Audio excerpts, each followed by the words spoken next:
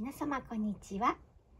アートクリエイターよっこです。いろんなアートを楽しんでいます、えー、今日は、えー、手のひらに乗るぐらいのオルゴナイトですね、えー、ジュエル型オルゴナイトと呼んでいます。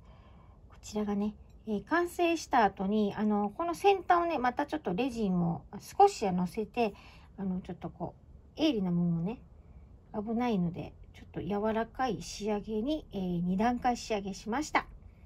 はい。裏はこちら、ティンカーベルの、えー、チャームも入れています。1個だけね、ちょっとお月さんなんですけどね。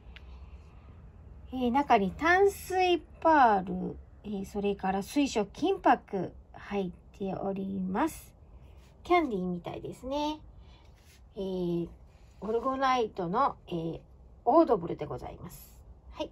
え、こちらをね、さらに、あの、こういうワイヤーで、えーと、遊んでみることも、えー、楽しいのでやっております。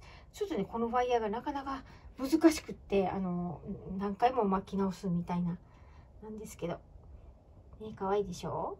で、こういうね、ちっちゃい本と一緒に載せてみたりで今ねスワロフスキーはねだんだんこう廃盤になってきてるこの貴重な雫、ね、これをひっつけて遊んでおります。遊んではいませんけど、ね、これ淡水パールとねこれティアラ。こちらねちょっとご注文をいただいてるので、えー、今日ちょっと巻いていってみたいと思います。ワイヤーがねブルーだったりグリーンそれからイエローゴールドホワイトピンクね。こんな感じで仕上がっております。さあどうなるでしょうか。ね上手に巻けたらいいんですけどね